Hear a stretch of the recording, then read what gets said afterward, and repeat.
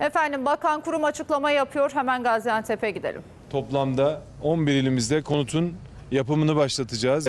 Ardından da etap etap şu an itibariyle 650'lerde olduğu gibi daha önceki deprem afetinde Elazığ'da, Malatya'da, İzmir'de ne yaptıysak hep bunu söylüyoruz.